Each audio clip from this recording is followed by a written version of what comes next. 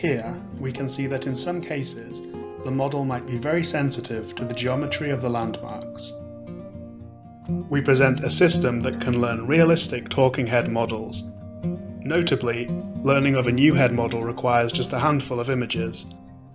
In this example, the model was learned from 8 frames. Once a talking head model was learned, it can be driven by the positions of the face landmarks. Our talking head models work well, even for new view angles, not present in the training examples as shown here. Our system can learn from different numbers of frames.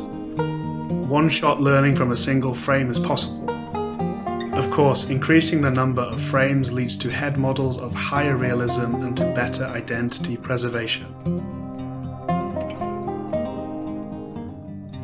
We can push the generalization even further, applying the system to famous photographs. In each case, we automatically find people in the VoxCeleb2 dataset. Here, we can see that in some cases, the model might be very sensitive to the geometry of the landmarks.